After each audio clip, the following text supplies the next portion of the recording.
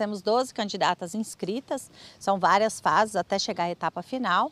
Já foi feita a primeira etapa, que era as curtidas no Instagram foi encerrada no dia 20. Hoje, dia 23, se encerram as, a etapa das vendas da rifa.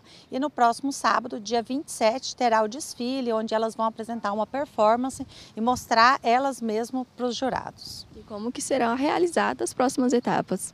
O desfile vai ser no dia 27, lá no ginásio do Pituchão. Tem os critérios que os jurados vão analisar e elas vão estar lá e toda a população junto para a gente prestigiar esse evento. Bom, Andréia, vai ter né, ali a praça de alimentação disponibilizado para a população. E isso vai ser feito no estacionamento do ginásio Pituchão, vai ter um palco, uma estrutura lá montada e vai ter também alguns barraqueiros ali, vai ter bebida, comida. Então a gente vai ter essa estrutura aí, uma praça de alimentação para a população também que for prestigiar o evento para aquelas pessoas que têm interesse em levar a sua própria bebida, é permitido? Não, não será permitido entrar com bebidas e alimentos no local, porque já tem os nossos parceiros que vão estar lá fazendo a venda de bebidas e comidas. Pelo formato do nosso evento, como a gente fez um evento grandioso, onde vai ter uma, uma estrutura muito grandiosa, nós achamos interessante integrar um, um show artístico.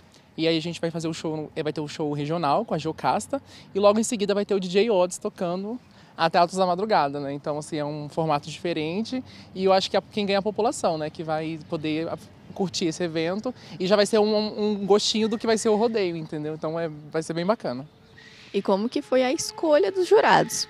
Olha, esse ano a gente optou por pessoas específicas. É, vai ter dois stylists, um fotógrafo, um professor de passarela, é, conseguimos trazer também a Miss Mato Grosso, que vai ser uma das juradas.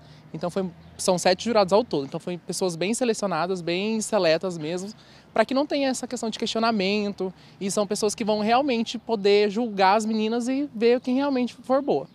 E nessa primeira etapa né, de eliminação serão eliminadas duas candidatas. Isso, exatamente. É, dez vão para a fase final, que é a fase do rodeio no dia 15 do 8 e, e, que vão usar o traje de gala, né? Que é aquele traje de franja e tudo mais.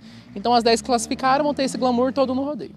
Então fica aí o convite para toda a população prestigiar esse evento. Isso mesmo. É dia 27 do 7, a partir das 19 horas, no estacionamento do ginásio municipal, nós estaremos lá na etapa classificatória da Rainha do Rodeio.